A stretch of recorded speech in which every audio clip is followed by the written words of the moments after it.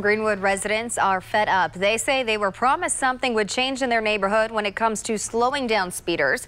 But they say since the start of the pandemic, there's been no progress. RTV6's Troy Washington is working for you and taking those concerns to the city.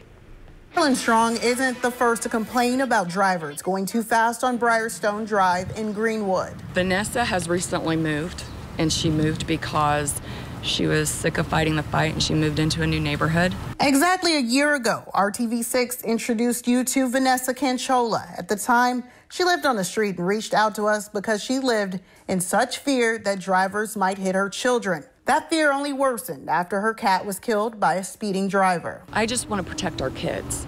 Protect our kids, our animals. I mean, dogs do sometimes get out. I'm worried about our animals. Strong doesn't want to move, but she does want drivers to slow down.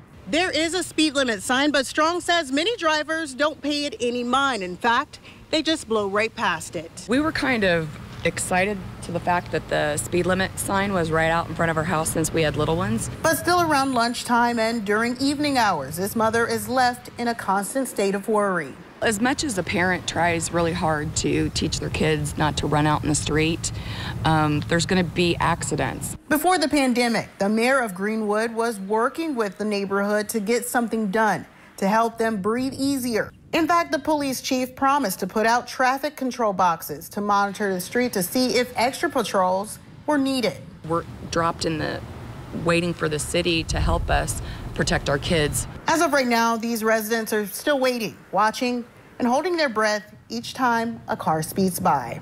Working for you in Greenwood, Troy Washington, RTV6. Thank you, Troy. And the chief promised to get those results to the neighborhood. And right now we are pressing to make sure that happens and to put this issue back on the city's radar.